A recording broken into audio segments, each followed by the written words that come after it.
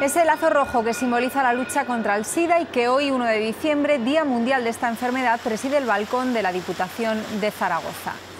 Y también en Zaragoza, en el Parque Bruil, se ha actualizado una placa en homenaje a las personas fallecidas por VIH, a quienes luchan contra esta enfermedad. La música y la poesía de Lorca también han estado presentes.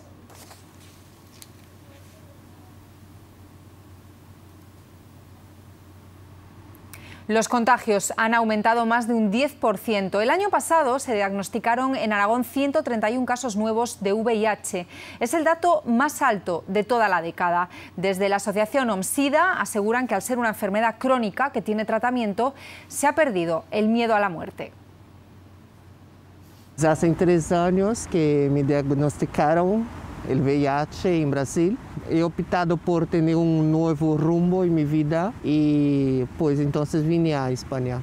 Félix no quiso afrontar la enfermedad cerca de los suyos por miedo al que dirán. ¿Crees que, que lo lleva estampado en la cara, que lleva una pancarta en la espalda, tengo el VIH?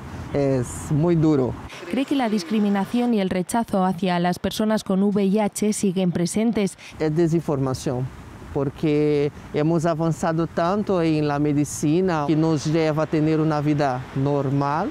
En Aragón, 130 personas fueron diagnosticadas con esta enfermedad en 2019. Son casi un 13% más que el año anterior.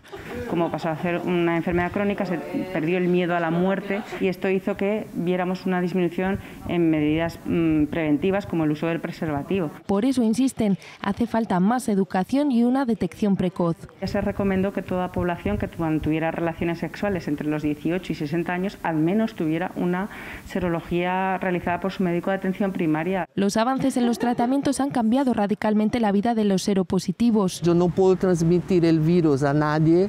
Fue una descubierta fundamental para mi desarrollo como persona. Es en la visibilización donde más camino queda por recorrer, porque la estigmatización es ahora la losa que más les pesa.